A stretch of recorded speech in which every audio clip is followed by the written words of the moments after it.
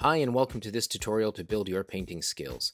In this session we will use a strong color contrast by using complementary colors and create texture by layering diluted paint and through varied brush strokes. This task should take you about one hour to complete. I found this picture online and cropped it square. We will use that as a reference for our painting. We will work about 20 centimeters by 20 centimeters square and I will simply mark out 20 centimeters now in my sketchbook. I will use these brushes. I have a round brush, a filbert, which has curved bristles, and a flat brush, which I tend to use most often. On our palette, we will need white, cadmium yellow, yellow ochre, burnt sienna, cadmium red, ultramarine blue, and black. Note we do not need large amounts as the painting is small. I also have a cup of water to rinse my brush and a rag to wipe, but a paper towel is also fine. The first thing we are going to do is tone our paper.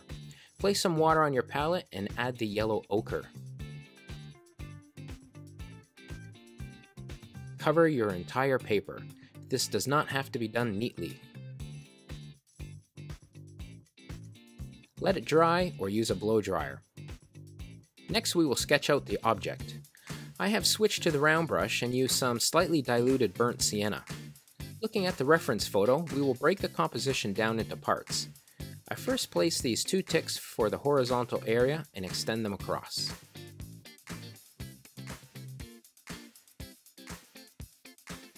I then create a vertical line down the center. I create this square to indicate where we will place the lock.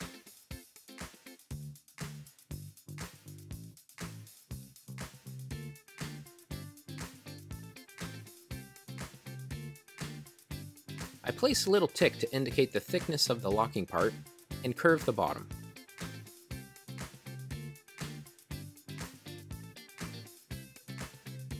I then add the slight diagonals for the sides.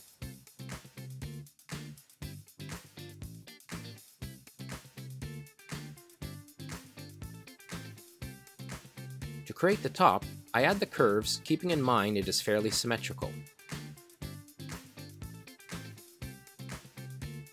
I then add the area at the top.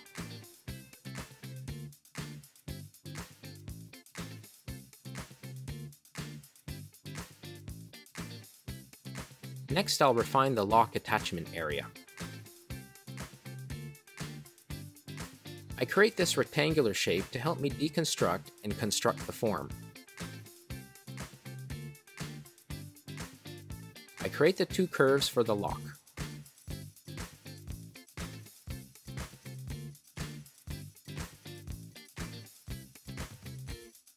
I'll even place some of the screws for reference.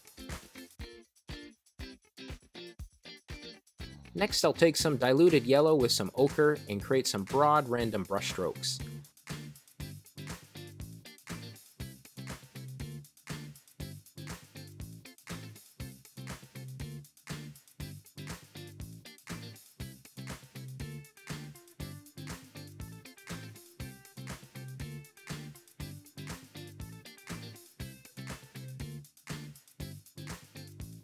I'll also add some burnt sienna and continue doing this. Feel free to play with different values to add to this. This process will help create the weathered look of the lock.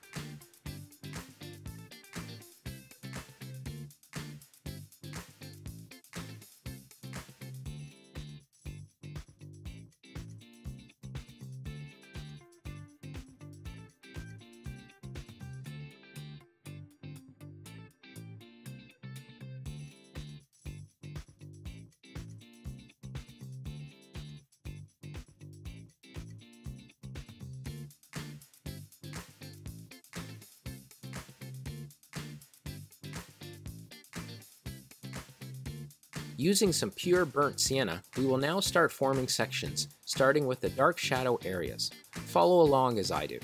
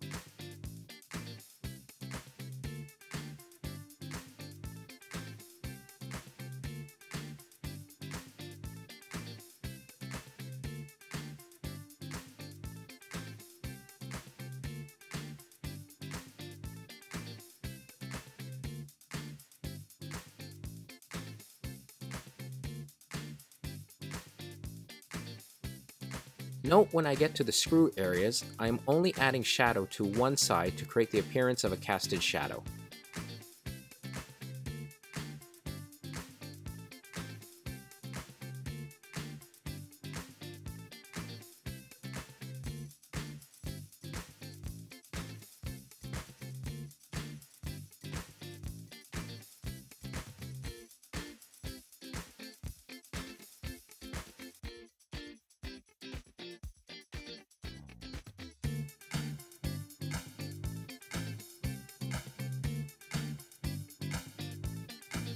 Use diluted burnt sienna to create slight tonal variations in the horizontal bar area.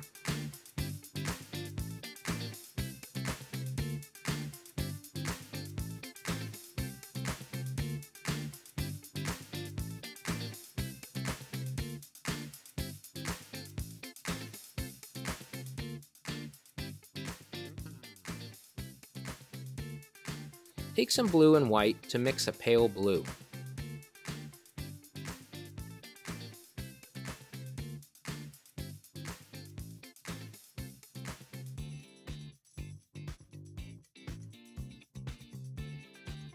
Start by applying it to the top area. Do this in a rough sketchy manner. We want some of the underpainting to show through.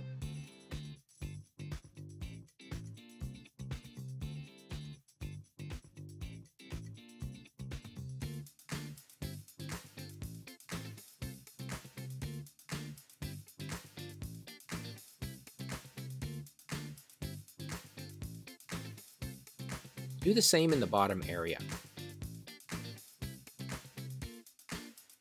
Use the blue to create the edgework of the lock.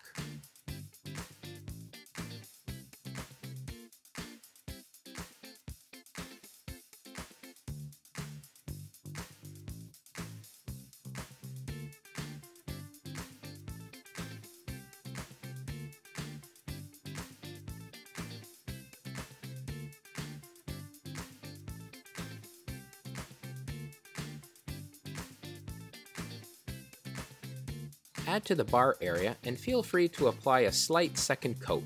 However, this may not be necessary if you wish to create a more weathered, rusty look.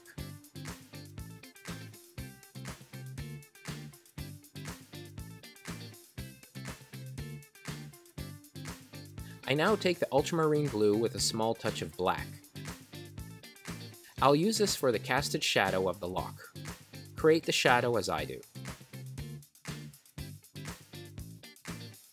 I also dilute some of this blue as a glaze. You see I added to the shadowed areas.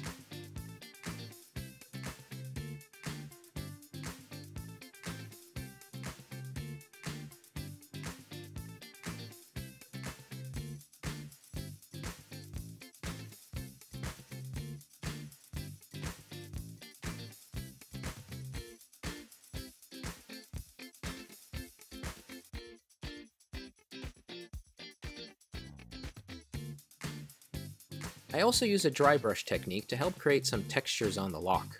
Dry brush means not a lot of paint applied to your brush. If you happen to apply too much, simply try wiping it off with your finger.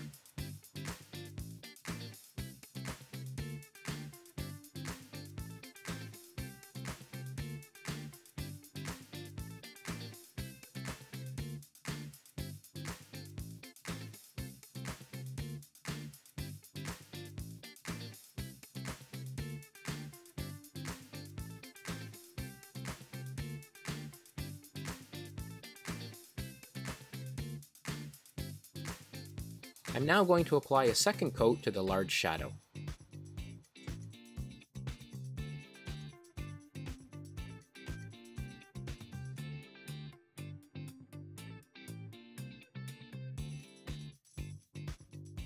I'm going to use the burnt sienna to create some middle tones in the highlight areas of the lock. Add them as I do.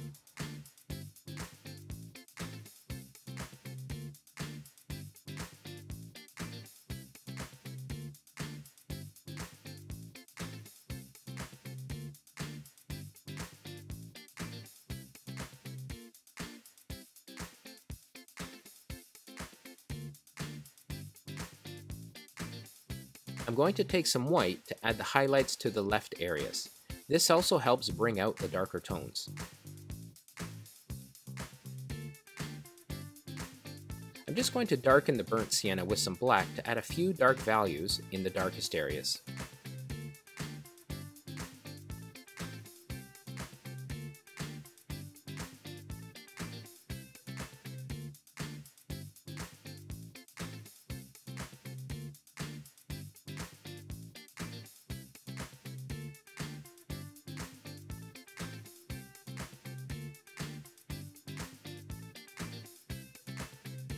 I think the casted shadow needs to be a little darker, so I'm going to add another coat.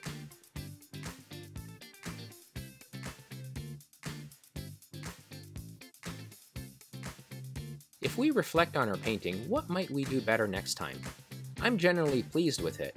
I like the weathered look, and I think the blue really complements the warmer tones used.